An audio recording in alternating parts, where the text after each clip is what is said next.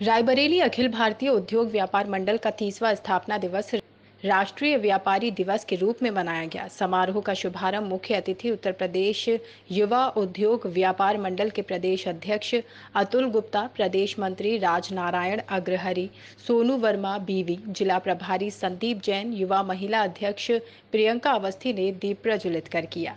मुख्य अतिथि अतुल गुप्ता ने अखिल भारतीय उद्योग व्यापार मंडल के 30 वर्षों के सफ़र के लिए राष्ट्रीय अध्यक्ष संदीप बंसल का धन्यवाद करते हुए कहा कि पूरे प्रदेश में मंडल व्यापारियों के हितों में अग्रणी भूमिका निभा रहा है, एवं हमारे मांग पड़ी सरकार ने 29 जून को व्यापारी दिवस घोषित किया है, जिससे व्यापारियों का सम्मान बढ़ा है। जिला अध्यक्ष त्रिलोचन सिंह छाबड़ा ने ज़िले के व्यापारियों को राष्ट्रीय व्यापारी दिवस की शुभकामनाएँ देते हुए संगठन की मजबूती पर बल दिया। समारोह में व्यापारी प्रतिभाओं का सम्मान किया गया, जिसमें संगीत के क्षेत्र में सत्येंद्र सिंह, आलोक चौधरी एवं व्यापारी कवियों के रूप में अभिषेक सिंह, रुद्र राघवेंद्र सिंह राघव, जमीर अंसारी एवं प्रदीप प्यारे को को प्रतिभाओं के लिए सम्मानित किया गया। आज 30 सितंबर राष्ट्रीय व्यापारी दिवस के उपलक्ष्य में जो अखिल भारतीय व्यापार संगठन है, उसमें जो व्यापारी लोग हैं, जिनकी कुछ कलाएँ हैं, जैसे कि गायन हो गया या कविताएँ जो लिखते हैं, उनका एक छोटा सा एक अंकुरण किया गया है। मैं आदरणीय अतुल गुप्ता जी, जो युवा प्रदेश अध्यक्ष उनका बहुत बहुत धन्यवाद करता हूँ। और मैं इससे एक संदेश देना चाहता हूँ कि समय बदल रहा है, चीज़ें बदल रही हैं। अगर कोई संस्था तीस आज का तीसवा स्थापना दिवस है, अगर कोई संस्था तीस सालों से चल रही है, या इसमें कहीं ना कहीं ईमानदारी है, क्योंकि जो ईमानदारी है, वही इतने लंबे समय तक टिक सकती है।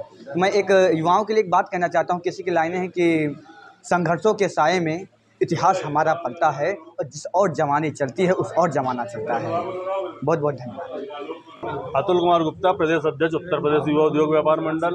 आज अखिल भारतीय उद्योग व्यापार मंडल एवं उत्तर प्रदेश युवा उद्योग व्यापार मंडल का तीसवां स्थापना दिवस था। तीस वर्ष पहले राष्ट्रीय अध्यक्ष माननीय संदीप बंसल जी ने जो पौधा लगाया था, आज वो वृक्ष, बहुत बड़ा वृक्ष के रूप में स्थापित हो चुका है। पूरे प्रदेश भर में उत्तर प्रदेश युवा उद्योग व्यापार मंडल और अखिल भारतीय उद्योग व्यापार मंडल की तरह का कोई संगठन अब बचा नहीं है। व्यापारी हित में यही एक संगठन काम कर रहा है और हमारा संगठन सात राज्यों तक फैल चुका है। आने वाले समय में पूरे देश में हमारा संगठन कार्य करेगा और लगातार आप भी देख रहे होंगे रायबली जनपद में अखिल भारतीय उद्योग व्यापार मंडल त्रिलोचन सिंह छावड़ा संदीप जैन चंद्र प्रकाश गुप्ता आज के नेतृत्व में बेहतरीन कार्य कर रहा है। व्यापारियों के लिए हर समय दिन रात खड़ा रहता है। इसलिए आज हम लोगों ने व्यापारी दिवस के अवसर पर उनका सम्मान भी बढ़ाया, जो हमारे यहाँ प्रतिभाएँ थी, अच्छी गाते हैं गायन के क्षेत्र में काव्य के क्षेत्र में उन व्यापारियों को आज इस मंच से सम्मानित भी किया गया। साहित्यकार थे उनका भी सम्मान किया। ये हमारे व्यापारी हैं जो कहते हैं इनकी प्रतिभाओं को उजागर करना था। आज बड़ा मंच उनको दिया गया कहते हैं कि रायबली जनपद के लोग जाने कि व्यापारियों के बीच भी प्रतिभाएँ छिपी हुई हैं। इसलिए आज उनको मंच दिया गया और उनका सम्मान बढ़ाया गया। त्रिलोचन सिंह छावड़ा जिला अध्यक्ष अखिल भारतीय उद्योग व्यापार मंडल रायबरेली। आज हमारे मंडल को 30 वर्ष पूरे हो गए हैं।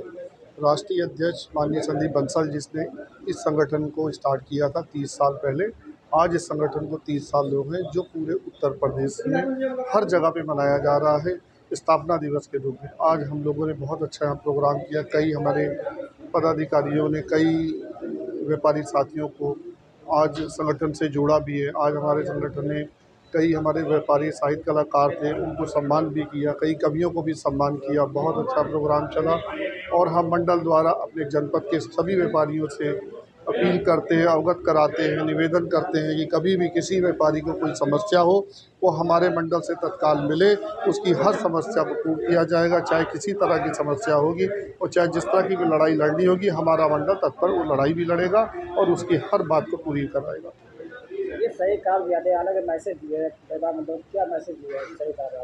साहित्यकारों ने बहुत अच्छा मैसेज दिया है कि एकजुट होकर रहना है और व्यापारियों के एक साथ रह के काम करना है और उनका हर कार बहुत अच्छा था।